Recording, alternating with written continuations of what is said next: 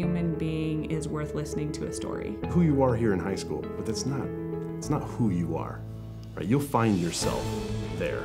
Failure's okay, and everybody does that, and nobody actually really cares if you fail as long as you kind of keep going. How you respond to adversity marks your character is what I like to say, and, and in college you're given plenty of opportunity to respond. I could have done it without college, there's no way. Not everybody knows that they can do it if they just do a little bit more. I've certainly never known anybody that has come back and said, I wish I would have messed around more. I wish I would have goofed off more. Just because something horrible happens or something that seems like, oh, that's what I wanted to do and I can't do it, that doesn't mean you can't. It means you have to take that experience and make positive out of it.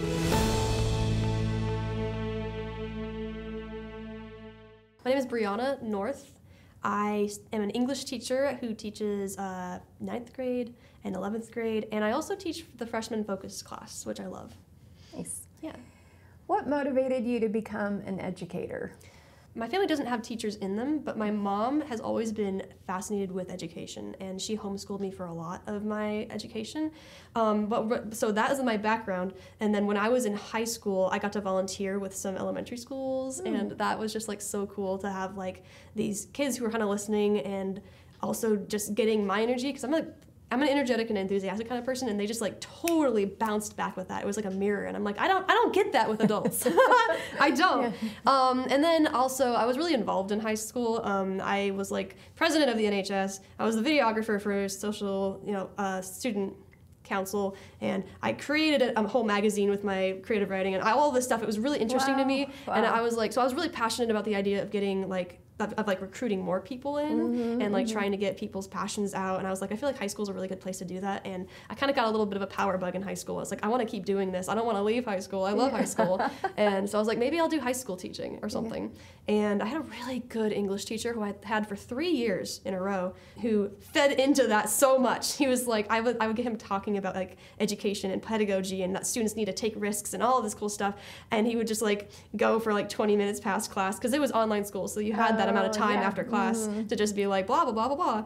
Anyway, it was really fun, and I I've kind of just wanted to do this ever since high school. Maybe maybe sophomore year is when it started. You oh, know. Wow. So. Oh, can you describe your college experience? What major did you pursue, and why? Yeah, I started um, because I knew that I wanted to be a teacher. Every time I went and talked to the advisors, I was always like, "What do I do to get there?" Um, I started college classes when I was a senior year. I went to Linn-Benton, obviously mm. there and, in high school, but then also through my AAOT, which is what you call it when you get a degree that then you can move on to OSU from, and it's cheaper and also um, and also it, the class sizes are smaller. Like mm. literally the amount of like talking to other students that I was able to do in Linn-Benton was so much better than OSU because OSU was big and scary. Um, but I loved OSU in the upper upper division stuff too. So I got I went to LBCC and then OSU, and it took me about six years total. How did college shape your career path? I could have done it without college. There's no way. Uh, the the teachers there are so like there's so many if I want to be a teacher, I'm gonna have to have other teachers. But like they just they have so much more experience. I cannot express how cool it is to be with scholars who just mm. study English all the time. And like I was talking to my students today about I have a, I had a professor who of of Shakespeare who all she did was study medieval things. She could speak Old English. She had like she understood why Shakespeare rhymed love with prove. Mm. Like I didn't understand that stuff. And you just it just makes you feel smart. It's a different environment. You're with people who want to be there learning and trying to eh, make their brains work hard. Mm-hmm. And I just I think I never want to leave a space of learning. But yeah, that's what that's what college did for me. It helped me um, kind of it just helped me elevate, I guess, if that mm-hmm. makes sense. Mm-hmm. Yeah. Did you face any challenges during your college years? And if so, how did you overcome them?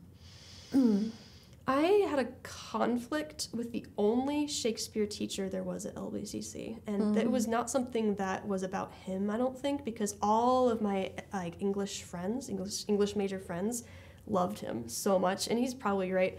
But I um I had I wound up I, I never did this. I had to withdraw from his class because I just was staying up all night trying to figure out how to work with this guy and I just couldn't figure it out.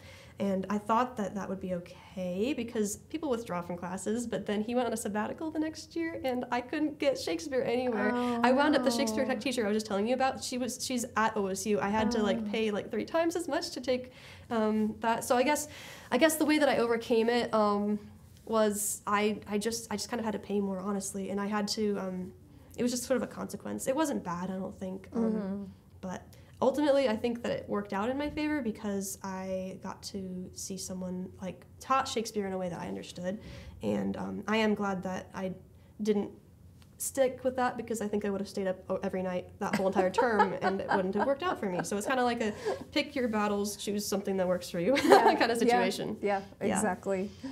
What extracurricular activities or clubs were you involved in during college? I kind of didn't do very much, frankly. I um, was working not full time; it was part time, but I was working hard enough that like I wanted to be able to still think about my work. And if I'm sleep deprived, I'm not going to be able to think. Um, so I didn't really do very much. I did one little bit of theater. I did like a, a small play, and that was at, in, the, in the first year of college. And I immediately was like, I don't think I can do this. so I, I kind of laid low, frankly.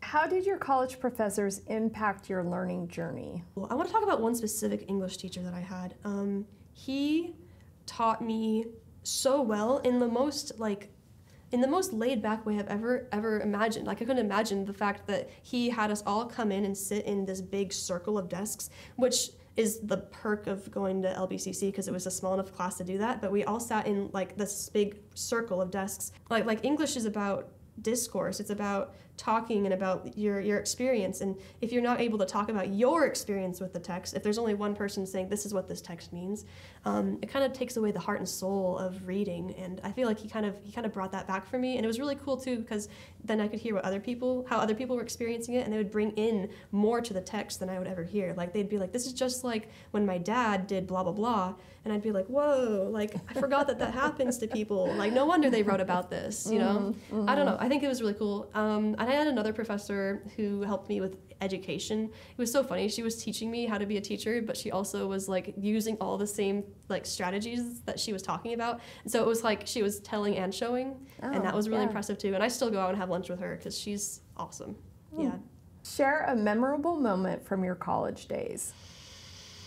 Um, I'll talk about the time I was in theater. It was one play, but it was so fun. I got to sit in this trash can and like have a blindfold over my eyes and like have like a hat on and I got me I got got that picture taken of me and it was up in Takena Hall for like Oh. 6 years. Oh, wow. Like I could always be like, "Oh, there I am." Hee hee.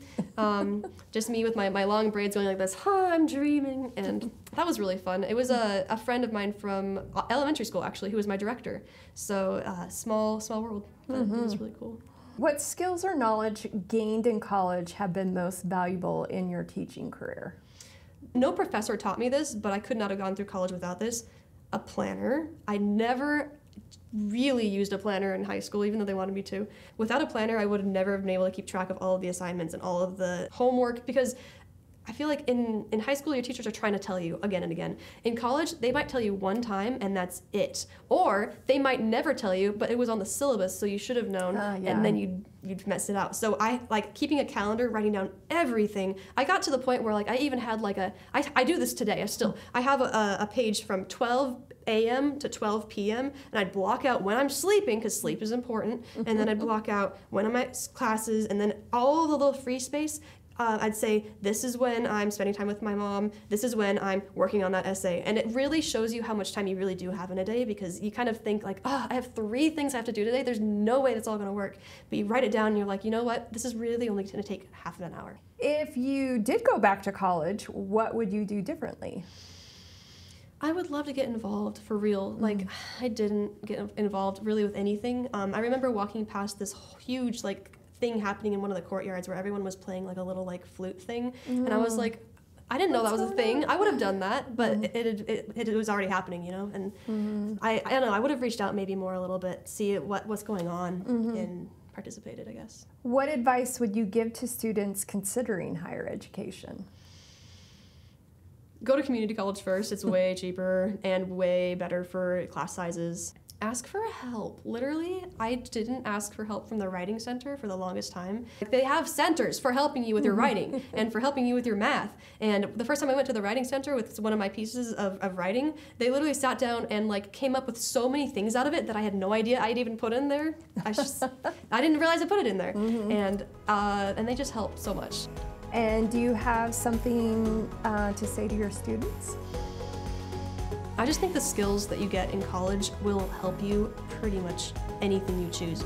It's way more personalized to your needs and your experience than anything you've had so far, you know? And I think that it's like you're, you're, you're just sharpening your skills. And if you, if you want to be able to do your job well, I think that sharpening your skills in college is, it's a great thing to do. Honestly, no matter what you're doing. Yeah. Mm-hmm.